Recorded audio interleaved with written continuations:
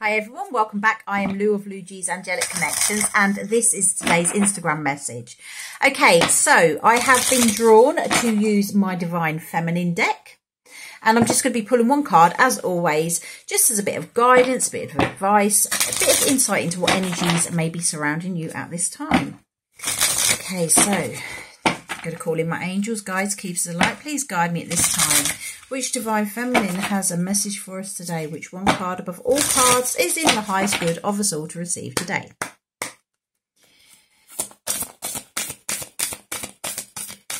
What one message do we need to be seeing today? That's more than one. Let's have a look. Please make it clear and concise. There we go.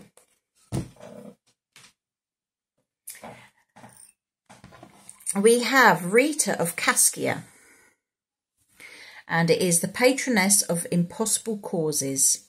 I am miraculous. My prayers create powerful channels of possibilities. Wow, that sounds interesting. Let's dig into this. Rita. Da, da, da. Card number, or page number 13.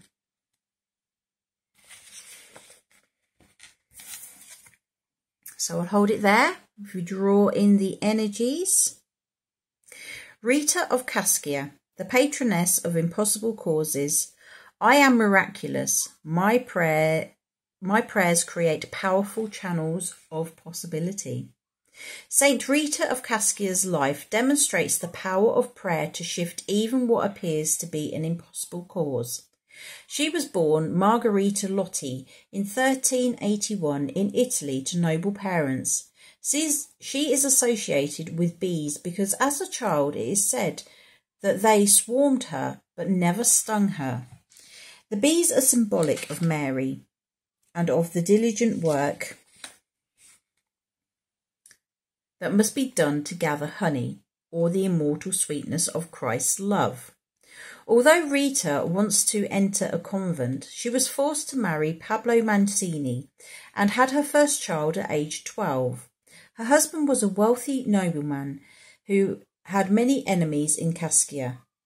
Rita endured abuse and infidelities, but through prayer and kindness she converted him to Catholicism. He then renounced the family feud known as La Vendetta. Even though Paolo had become a new man, a member of the feuding family murdered him for his previous acts.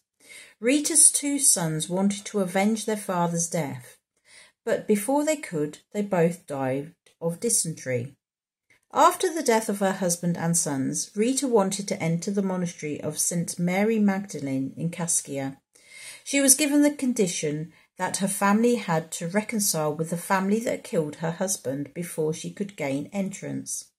Rita prayed to her patron saints John the Baptist, Augustine of Hippo, and Nicholas of Tolentino, of Tolentino to assist her in creating peace between the two rival families. The bubonic plague was ravaging Italy at this time and happened to take several members of both families. This was enough hardship that they agreed to relinquish the feud. Rita entered the St. Mary Magdalene Monastery at the age of 36.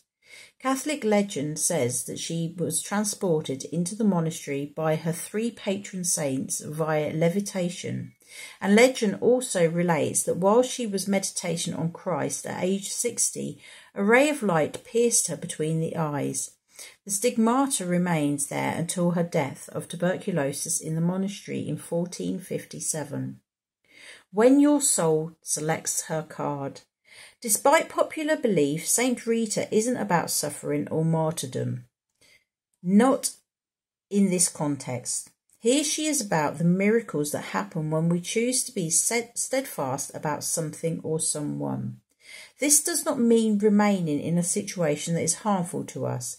It means knowing that we can believe anything is possible and that everyone is ultimately forgivable.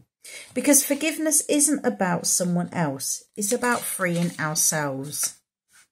We might have to draw fierce boundaries and possibly never see this person again, but we can pray from a distance that a light larger than our own transforms them, that a love that's greater than what we alone can hold and have for them might offer them a new life.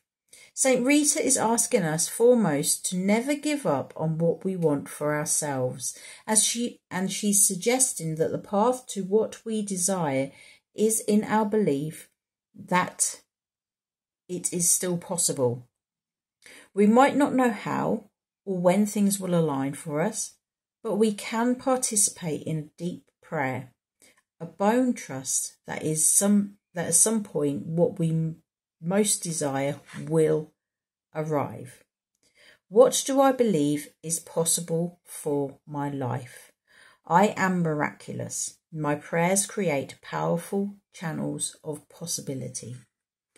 Okay, so this is saying to you no matter what is going on in your life, no matter if you've got a dream and you're not quite sure how it's going to manifest, how it's going to become a reality for you, have that faith, have that trust that it can happen for you. Pray to the angels, pray to God Pray to the divine, the universe, whatever your source is. Pray. Pray and ask for it to happen. It may not come in a format of exactly what you want, but it will come in a format of what you actually need. Prayer can work miracles. It can really change the course of things that happen in your life. Have trust, have faith that what you want wants you. Okay, so that is your message. Thank you for being here. You take care. Have a fantastic day. Bye bye.